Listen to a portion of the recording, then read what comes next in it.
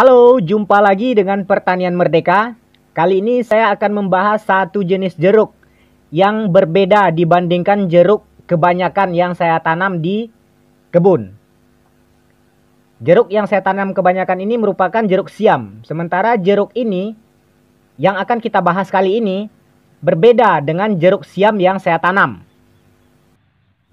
Baiklah, langsung saja kita menuju TKP. Ini jeruk yang akan kita bahas. Hampir serupa dengan pembahasan kita tentang jeruk aneh yang kemarin, beberapa hari yang lalu. Sekarang kita akan coba perhatikan dulu tampilan fisik atau organ dari jeruk ini. Tampilan luarnya, bentuk daun, dahan, ranting, dan batang. Oh iya, hampir lupa. Jeruk ini bermula sekitar dua setengah tahun yang lalu. Saya tanam pada tanggal 10 September 2018.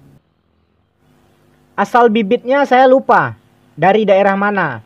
Soalnya sekitar dua setengah tahun yang lalu saya suka beli-beli bibit jeruk yang berbeda dengan jeruk yang saya tanam. Maksudnya berbeda dengan jeruk siam. Saya suka koleksi-koleksi tanaman buah jeruk. Jadi kalau ada tanaman atau bibit-bibit jeruk yang agak berbeda dengan yang sudah saya tanam, itu saya beli. Nah, yang saya ingat ini namanya jeruk mandarin. Setelah saya cari informasi, browsing sana, browsing sini, dan baca-baca literatur atau referensi tentang jeruk, akhirnya saya tahu bahwasanya jeruk mandarin tidak hanya satu jenis saja, ada sekitar 11 jenis jeruk mandarin. Nah, itu persoalannya.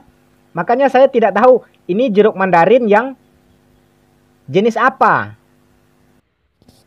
Dari 11 macam jeruk mandarin ini akan saya sebutkan saja satu persatu ya. Yang pertama itu jeruk ponkan, yang kedua lukan, ketiga swato, keempat kino, kelima mikan, keenam clementine, ketujuh mandelo, Kedelapan Dekopon. Yang kesembilan Honey Murkot. Yang kesepuluh Sour Orange. Bahasa Inggrisnya mah. Yang kesebelas Tangerine. Dari sebelas macam jenis jeruk mandarin ini, ada dua kemungkinan nama jeruk mandarin yang saya tanam ini. Kemungkinan yang pertama, jeruk ini bernama jeruk kino. Dan kemungkinan yang kedua, Jeruk ini bernama Honey Murkot. Saya katakan dua kemungkinan ini karena dari 11 jeruk mandarin yang ada, cuma dua jenis jeruk ini yang agak mendekati ciri-ciri fisik buahnya dengan jeruk yang saya tanam ini. Saya katakan demikian karena jeruk kino dan jeruk honey murkot ada kemiripan dengan jeruk yang saya tanam ini jeruk mandarin. Nah, inilah risikonya kalau kita kolektor suka-suka mengkoleksi tanaman seperti jeruk ini tapi kurang pengetahuan seperti saya. Yang saya tahu dari orang yang menjual bibit beberapa tahun yang lalu, dua setengah tahun yang lalu, katanya ini jeruk mandarin. Ya sudah, saya tanam saja. Saya pikir waktu itu jeruk mandarin ini cuma cuma ada satu jenis saja. Eh, ternyata ada 11 jenis. Walah. Dan tidak tertutup juga kemungkinan bahwasanya ada jenis jeruk mandarin yang lain yang tidak disebutkan tadi. Selain dari yang 11 tadi maksudnya. Walah, makin pusing saya ini. Jeruk nama jeruknya jeruk mandarin. Tapi jenis atau varietas yang lebih detailnya saya kurang tahu. Ya begitulah kolektor tanaman. Nasib dari kolektor tanaman yang amatiran, bukan yang profesional. Baiklah, ada baiknya kita kesampingkan saja dulu jenis-jenis jeruk mandarin yang ada. Kemudian apa jenis dari jeruk mandarin yang saya tanam ini kita kesampingkan saja terlebih dahulu. Selanjutnya kita bahas saja. Kita perhatikan tampilan fisik atau bentuk fisik dari jeruk ini. Nah, ini sudah terlihat tunas mudanya yang sekaligus membawa bunga. Ada bunga yang tumbuh di ujungnya itu yang berwarna putih. Itu bunga yang merupakan cikal bakal putik dan kalau tidak ada terserang hama, buahnya sehat-sehat sampai berbuah matang bisa kita petik. Gitu. Nah, ini sekumpulan bunga yang terlihat di tunas mudanya. Kalau mengenai daun, daun jeruk mandarin ini agak lancip. Hampir, hampir menyerupai jeruk siam. Cuma mungkin nanti kita bisa membedakannya ini masuk kategori jeruk mandarin atau bukannya dari buahnya nanti. Nanti kita bahas. Kita lihat juga kita sorot juga buahnya nanti. Nah, ini tunas mudanya yang sudah berbunga. Berbungalah bunga jeruk. Jadilah putik. Ini, walah ini risiko ini.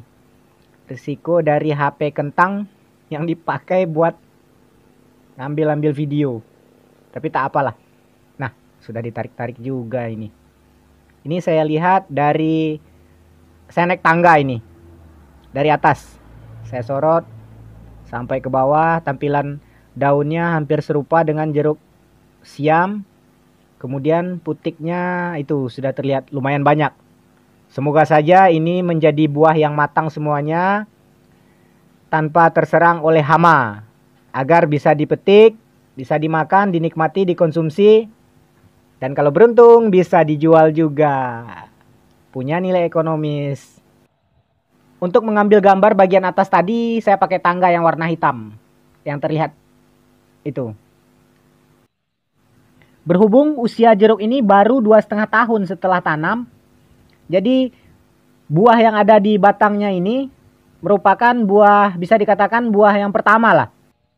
Tinggi jeruknya saat ini kita ukur dari pangkal batang bawah yang dekat tanah sampai ke ujung atasnya itu sekitar 3 meter. Nah, sekarang saya coba petik buahnya.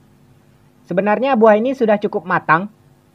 Hanya saja, jeruk yang ditanam di dataran rendah, biasanya kalau matang itu buahnya masih berwarna kehijau-hijauan atau masih hijau dengan sedikit warna kekuning-kuningannya.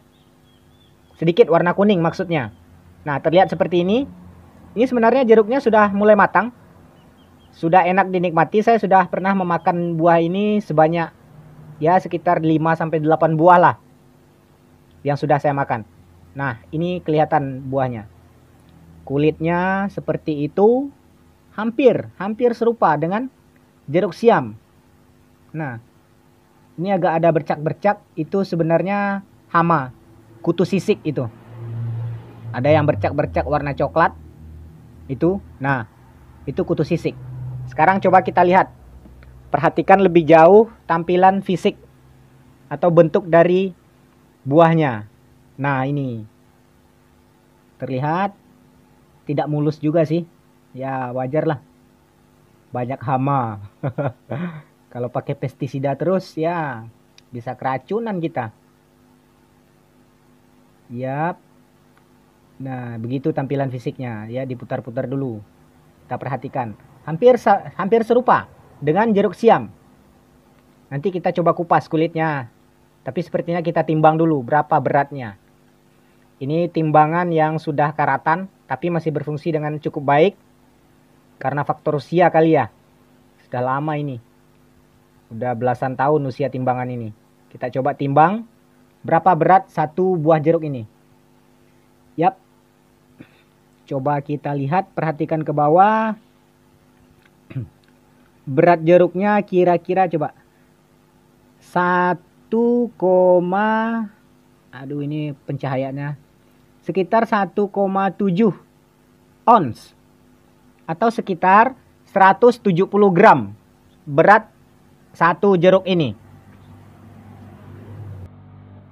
Berhubung berat satu bijinya sekitar 170 gram, berarti kalau satu kilo isinya sekitar 6 buah 1 kilogram jeruk mandarin ini. Jangan lupa subscribe dan aktifkan tanda loncengnya agar tidak ketinggalan update dari saya selanjutnya. Terima kasih. Selanjutnya coba kita perhatikan lagi buahnya. Yap. Mau kita kupas ya. Jeruk ini kita lihat isi di dalamnya. Kita coba sedikit mengupasnya dengan gerakan slow motion ya. Yap, satu, dua, tiga, ah, terbuka. Jadi kalau mau membuka kulit jeruk itu, bagusnya seperti ini saja. Kalau bukanya pakai dikelupas sedikit-sedikit, itu kurang menyenangkan karena cairan dari kulit jeruk ini kurang asik dicium. Agak-agak gimana gitu. Bikin perih hidung dan mata juga. Nah, setelah itu baru dikupas sedikit-sedikit. Nah, terlihat ini isi di dalamnya dia memang berbeda. Nah, kulitnya seperti ini agak tebal. Agak kulitnya sedikit tebal jika dibandingkan dengan jeruk siam. Kalau jeruk siam kulitnya tipis. Ini agak kaku, agak tebal. Ya, itulah yang membuat saya percaya sama si penjual bibit jeruk ini bahwasanya ini memang merupakan jeruk mandarin. Tapi dari sekian banyak jeruk mandarin yang ada, saya tidak tahu ini jeruk mandarin yang jenis apa. Apakah jenis kino atau jenis honey murkot? Nggak tahu juga. Nah, ini isi di dalamnya. Itu yang putih-putih. Merupakan spons. Bukan SpongeBob ya. Cukup spons saja. SpongeBob. Waduh. Spons maksudnya. Spons ini disebut albedo. Albedo jeruk ini berbeda dengan jeruk siam. Terlihat agak kasar. Albedonya jika dibandingkan dengan jeruk siam. Jadi, jika dilihat dari tampilan atau bentuk fisiknya, jeruk ini merupakan jeruk keprok. Jeruk mandarin ya, jeruk mandarin jenisnya jeruk keprok, bukan jeruk siam. Karena di dalam buah terdapat segmen atau bagian buah yang memiliki kulit tipis berwarna putih transparan. Daging buah atau pulp dari jeruk keprok ini berwarna kuning orange. Sementara pulp dari jeruk siam lebih lembut. Setelah kita kelupas kulitnya, coba kita satukan lagi. Nah, itu seperti ada rongga di tengahnya, ada bolong-bolongnya. Nah, itu. Pulpnya itu agak kasar atau agak besar dibandingkan dengan jeruk siam. Jeruk siam agak ramping pulpnya. Atau daging buahnya. Jeruk yang berongga seperti ini, itu seperti ada bol lubang, ada bolong di tengahnya, itu menandakan bahwasanya jeruk ini sudah matang sudah bisa dikonsumsi. Walaupun tadi kulit buahnya pas dipencet itu masih terasa agak keras. Ya karena wajar saja kulitnya agak tebal jika dibandingkan dengan jeruk siam. Nah ini coba kita ambil satu bagian dari pulpnya. Ini ada yang mau Bapak Ibu? Coba dicicipi.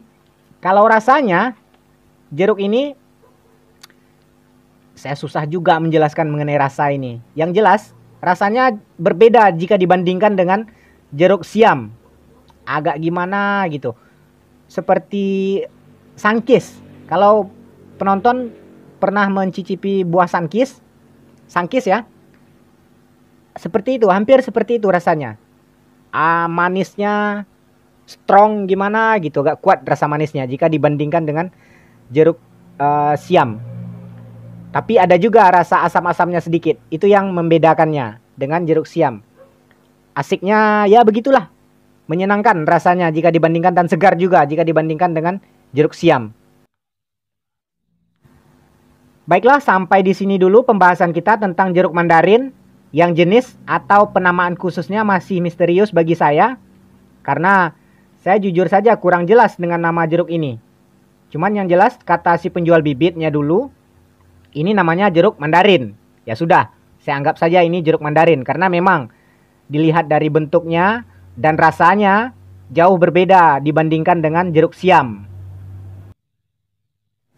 Terima kasih atas perhatiannya. Sampai jumpa pada video selanjutnya. Wassalam.